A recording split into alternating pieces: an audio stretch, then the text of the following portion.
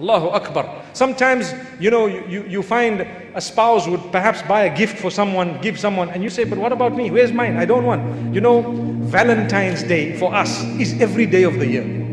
Valentine's Day. Every day of the year. Meaning, we don't mean St. Valentine and so on, but expressing love should not just be on a certain day. But I know of Muslims whose marriages have broken because the husband did not bring a rose or a flower or a gift for the wife on the day of Valentine's. Muslims, marriage broken. Valentine's Day. Valentine's Day? You I want out. I want out. All my friends got flowers. I didn't get anything. I want out. Finish. Bad. How am I going to show face to my friends? My sister, you don't need to show face. A marriage that works is not a marriage that is displayed on Facebook. A lot of those are actually not working. That's why they have to show it on Facebook. If yours is working, you're busy working it. You're not busy on the net. Allahu Akbar. So people want to put, oh, me, my husband and I, and you're hugging and you're kissing, and the picture's up. Wallahi, the evil eye is the truth.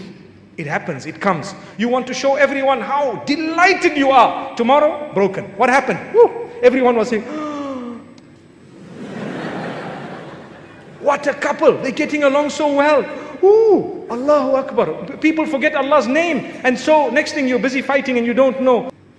Why do you have to show? Why do you have to say, oh, my beloved husband and speak to the globe? Tell your husband that. Subhanallah. Tell your wife that. So this is why we say, I know of another marriage that broke because the wife suspected the man of giving her flowers that were supposedly from someone else. How's that? Allahu Akbar. So here comes the day of Valentine's and, and the flowers came. I told you the flowers are supposed to come anytime, not only when you go to the graveyard. Sorry, I need to explain myself. You know, at the graveyard, you get these roses on people's graves. Sometimes The people put, you know, we in Islam, we're not supposed to be doing that. You'd rather make a dua for the deceased than to do that. But some people, when they go to the graveyard and they're standing there, they see a rose. Hey, that's good for my wife. Take it. So the only time they get roses, you know, one woman says, every time my husband gives me a rose, I've got to ask him, did you pass by the graveyard? So the reality here is there was a case, and this happens, and I'm talking about it because it's connected to the knot. There was a case where a man says he came with the flowers. The flowers are presented. Now there's another problem. What's it? Where did you get these from? Who sent them to you? How did you bring them here?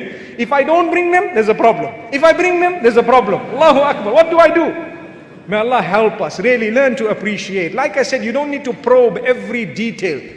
If you are kind and good towards your spouse and you give them time and you look at them often, trust me, the love will increase.